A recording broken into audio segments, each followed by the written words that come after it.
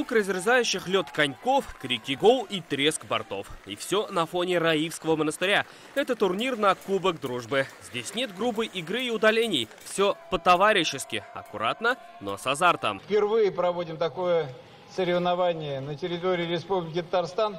Ну а если говорить э, по большому счету, то ни в России, наверное, и в мире нет аналогов проведения таких соревнований. В чем его уникальность? Все просто. На льду и любители хоккея, и профессионалы. На коньках и с клюшками в руках прихожане православных храмов и мусульманских мечетей. Плюс танкисты и судьи. И мусульмане, и, и христиане, и они самое главное, ведь эта дружба, она не сосредотачивается только на хоккейной площадке, на льду, а также дружат с семьями, общаются. Сегодня мы все с вами свидетели, что спорт на самом деле объединяет, несмотря на религию, конфессию, положение в обществе, должность, которую занимает человек. Все мы вышли на один лед и поиграли. Инициатором дружного турнира стало спортивное общество «Динамо». В этом году в Татарстане оно отмечает свой 95-летний юбилей. Год мира и.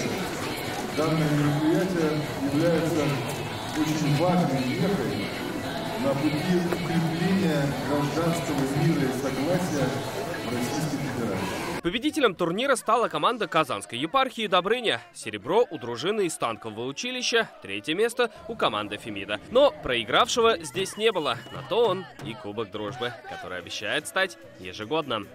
Салават Мухаммадулин, Вадим Илларионов, ТНВ, Зеленодольский район. Закажи рекламу на ТНВ. Телефон в Казани 5 705 100.